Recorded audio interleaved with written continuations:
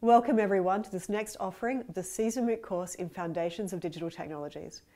We are so excited to be welcoming you to join our community and to engage with the new Digital Technologies learning area.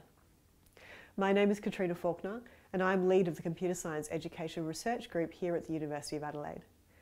We first launched this course two years ago with the support of Google and now we can bring you an updated version of the course with the continuing support of Google and also the Federal Government Department of Education and Training.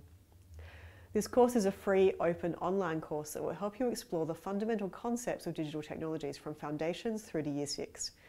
Everyone is welcome in the course, whether you are a school leader, in-service or pre-service teacher, or simply just interested. We will be introducing new concepts associated with digital technologies, including computational thinking, programming, algorithms, abstraction, and decomposition. But I think you'll be surprised at how much you already know and how similar these concepts are to those that you're already applying in the classroom. This course consists of a number of units aligned with key topics from the Australian curriculum, containing videos and worked examples to explain and explore these new concepts and what they would mean in your classroom. We also have an online community where participants in the course will share classroom ideas and activities aligned with these new concepts. I hope you'll find the course interesting and the community is supportive and inspiring. We look forward to meeting you in our community.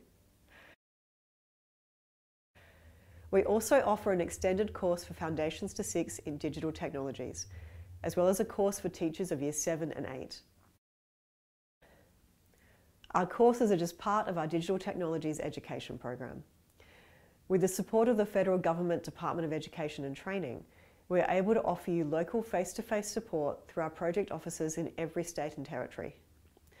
Our project offices will be running free face-to-face -face professional learning that you can participate in and that will help you engage with our courses and also our community.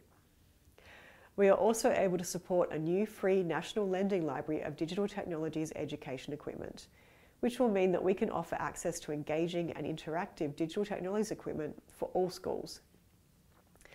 Please visit the CSER homepage if you would like to know more about these programs and how you or your school can be involved.